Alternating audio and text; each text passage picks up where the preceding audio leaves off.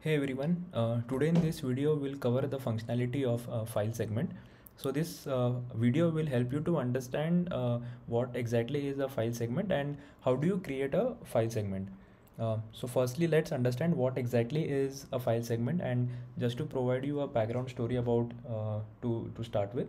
Uh, so a lot of uh, growth teams uh, often perform a lot of analysis at their end on the users and the user data and post this analysis uh, they would want to uh, import those users in moengage to use our capabilities of uh, different campaigns that we have that, that can be sent using moengage and also the advanced analytics uh, capabilities that we have uh, to do further analysis on this.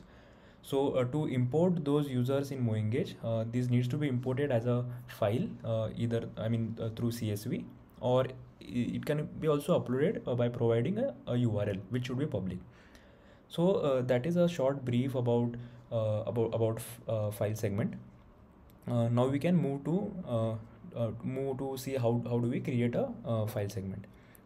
So once you click all segments and in this page, when you select this plus segment icon, you need to cl- click on this file segment button. So you need to you can, you can provide a, name as per I mean naming convention as per your wish so for just example i'm putting as a test january. Similarly i'm putting description also the same.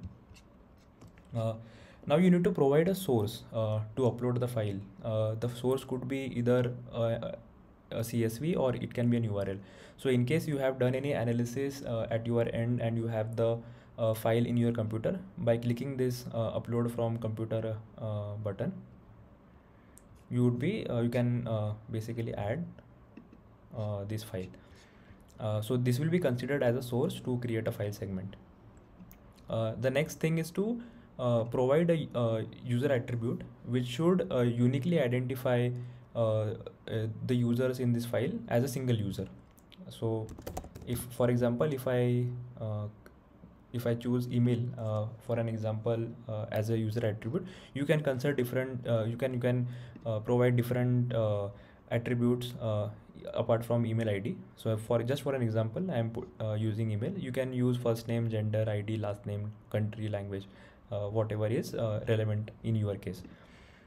So, uh, so essentially, why this uh, step is important i- in the process of creating a file segment? Uh, so, so the provided user attribute it should uniquely identify user as a single user.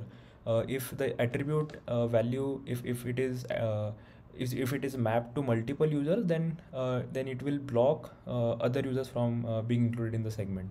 So that is the reason why uh, why why the uh, attribute should uniquely identify a single user so below uh, you can so below field is basically to alert yourself or or your team member about the file segment being processed so that you know that the file segment has been processed in case you want to use it in campaigns or analytics so one thing to uh, uh, you know make sure once you uh, when you are creating a file segment it is that the the users that you are uploading through any of the source those users should be already present in moengage. In case uh, you are uploading uh, or, or if this file has any users which are not already present in moengage so while creating a file segment those users uh, would be skipped. Only those users would be considered in the file segment which are already present in moengage so let's create uh, this file segment. Right. So now this uh, file segment is successfully created. Uh, so moving on to the another functionality uh, how do you uh, edit the uh, the existing file segment which you might have created? So using this drop down you can select file so that all the file segments are visible. And in case you want to edit it in the three dot menu you can take an action called edit now there are three actions that you can take uh, uh, to uh, edit the file segment. Either you can add the users to the existing file segment. Uh, you can remove the users from file segment if you don't want it anymore. Or you can replace all the existing uh, uh, users in the file segment if you want to replace them with all the new new set of users. So let's say if I consider adding some users, so you need to uh, do the all the similar steps that you did to create a file segment. Uh, the steps remain the same. You need to provide a source, uh, be it a file segment or a URL. So in case of URL, uh, these are the certain conditions that needs to be satisfied. Uh, so in case any one of the cases, I mean condition is not satisfied, the segment file segment won't be processed.